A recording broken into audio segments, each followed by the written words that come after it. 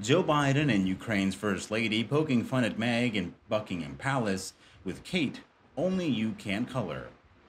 Maybe Meghan was screaming in anger in Montecito as she watched Kate pose for pictures with the First Ladies at the coronation.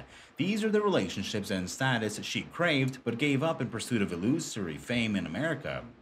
On the eve of King Charles's coronation, the royal family hosted some of the most notable guests who will attend Saturday's ceremony. Catherine, Princess of Wales, met American First Lady Jill Biden and Olena Zelenska, the First Lady of Ukraine, during a reception for heads of state at Buckingham Palace on May 5th. The three women posed for photos together during the reception, which was held in honor of overseas guests attending the coronation, and Jill Biden also brought her granddaughter Finnegan Biden with her for her trip across the pond. On May 4th, Jill Biden posted a photo of herself waving as she boarded a plane to fly to London. Headed to the UK for the coronation of King Charles III, the first in 70 years, she captioned the picture. It's an honor to represent the U.S. for the historic moment and celebrate this special relationship between our countries. A U.S. president has never attended the coronation of a British monarch. Back in April, President Joe Biden told Charles that he would like to meet with the king in the UK at a later date. The coronation of Charles marks the first time a new British monarch will be crowned in 70 years. Charles's mother, the late Queen, who died September 8, 2022 at age 96, was the longest reigning monarch in British history, first taking the throne in 1952. In addition to the reception for heads of state, Charles and British Prime Minister Rishi Sunak met with leaders of the Commonwealth at Marlborough House on Friday. Charles is head of the Commonwealth, an association of more than 50 countries, including Australia, Canada, Singapore, and Kenya. The king, his eldest son, Prince William, and the former Kate Middleton also staged an impromptu walkabout to greet the excited crowds already gathering on the grand boulevard that leads to Buckingham Palace. According to Reuters, the trip of royals were met with cheers of hip hip hurrah and God save the king.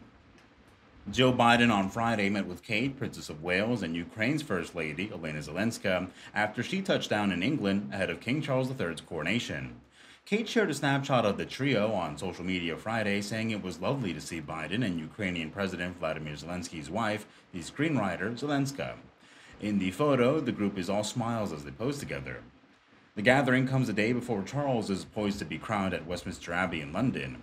Biden, who arrived to the UK on Thursday, is heading up the US delegation for the coronation. It was a who's who of foreign royals and world leaders as the grandest of grandees gathered to celebrate the coronation of King Charles with the Buckingham Palace reception on Friday night. Hosted by King Charles with support of the Prince and Princess of Wales, the exclusive soiree gave the royal family an opportunity to welcome their international guests ahead of Westminster Abbey service on Saturday. It echoes a similarly high powered engagement held on the eve of Queen Elizabeth II's funeral, although, of course, this was a far more celebratory occasion.